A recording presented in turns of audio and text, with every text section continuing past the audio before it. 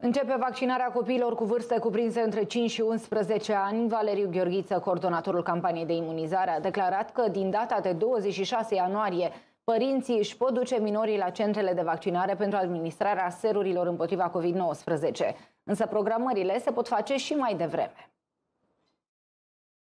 Primele doze de vaccin pediatric vor ajunge în România pe 24 ianuarie, respectiv 25 ianuarie. Astfel, peste 100.000 de doze sunt programate să ajungă în mai multe centre din țară. Pe 24 și 25 ianuarie urmează să recepționăm două tranșe de vaccin pediatric de la compania Pfizer, în total fiind vorba de 114.000 de doze.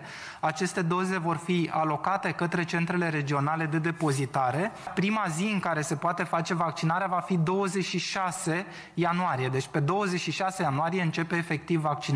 Prioritate vor avea copiii care suferă de afecțiuni și care riscă să facă forme mai grave ale bolii în cazul unei infectări. Țării. Câte 12.000 de doze pentru fiecare centru regional de depozitare.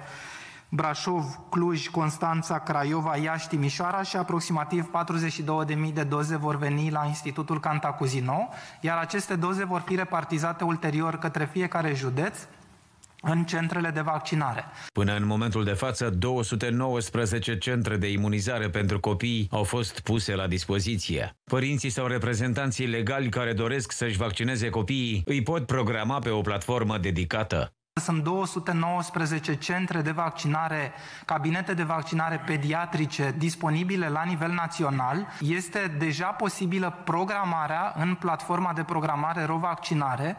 Centrele care au cabinete pediatrice sunt configurate în platformă cu denumirea de PPED,